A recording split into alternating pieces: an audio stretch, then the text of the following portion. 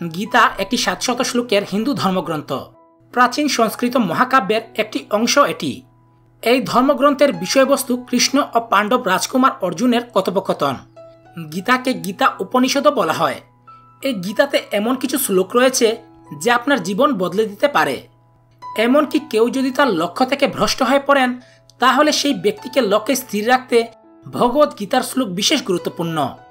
গীতাতে বলা হয়েছে যে জিনিসটা আমরা মন থেকে চাই, সেই জিনিসটা পাওয়ার প্রতি আমাদের লুপ বেড়ে যায়। যদি কোনো কারণে সেই চাহিদা পূরণ না হয়, তাহলে আমরা ক্রমশ ভেঙে পড়ি। আমাদের মনোবল সম্পূর্ণ ভেঙে যায়। তাই গীতার গুরুত্বপূর্ণ কিছু শ্লোক সম্পর্কে বিস্তারিত জানতে ভিডিওটি সম্পূর্ণ দেখুন। আর আপনি যদি আমাদের চ্যানেলটি সাবস্ক্রাইব না করে থাকেন, তাহলে সাবস্ক্রাইব করে পাশের বেল আইকনে ক্লিক করুন। জীবনটা যুদ্ধক্ষেত্র। দৃঢ়ভাবে সেই যুদ্ধক্ষেত্রে যুদ্ধ করতে হবে। শরীরের মৃত্যু হতে পারে। কিন্তু আত্মার কখনো মৃত্যু হয় না। জন্মালে একদিন না একদিন মরতেই হবে। মানুষ যেমন জীর্ণ বস্ত্র ত্যাগ করে, নতুন বস্ত্র গ্রহণ করে, আত্মা তেমনি পুরাতন দেহ ত্যাগ করে, নতুন দেহ ধারণ করে। জীবনে জয় পরাজয় উভয়ই রয়েছে। সকলকে সবটা মেনে নিতে হবে। কখনো ভেঙে পড়লে হবে না। অন্যের ভাগ্যকে নকল না করে নিজের খারাপ ভাগ্য নিয়েই চলার চেষ্টা করুন।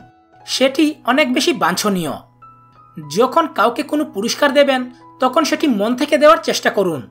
সঠিক স্থানে সঠিক পুরস্কার দেওয়া উচিত, কিন্তু কখনো কারোর কাছ থেকে পুরস্কার ফিরে পাওয়ার চেষ্টা করবেন না। যে তার নিজের সংকল্পে দৃঢ় থাকে, সে সহজেই যন্ত্রণা জয় করে। সুখ স্বর্গরাজ্যে নিজেকে প্রতিষ্ঠিত করতে সক্ষম হয় এবং নিজের আত্মাকে সম্পূর্ণরূপে মুক্ত করতে সক্ষম হয়। ভালো কাজ করলে কখনো বিফলে যাবে না আপনার। যে কাজটিতে ব্যর্থ হবেন, সেটি বারংবার করার চেষ্টা করুন। একদিন না একদিন আপনি সাফল্য পাবেনই।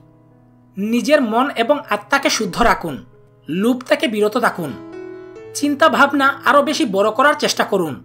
আপনার নিজের যা জ্ঞান রয়েছে, সেটির মাধ্যমে নিজেকে প্রতিষ্ঠিত করার চেষ্টা করুন। কখনোই অন্যের দ্বারা প্রভাবিত হবেন না। সৎসঙ্গে স্বর্গে বাস, অসৎসঙ্গে নরক বাস। আপনার সঙ্গ যদি ভালো হয়, তাহলে আপনি সুখে থাকবেন। আর না হলে নরক যন্ত্রণা ভোগ করতে হবে। তাই নিজের জীবনের সিদ্ধান্ত নিজেই নিন। তো ভিউয়ার্স, এই ছিল আমাদের আজকের ভিডিও।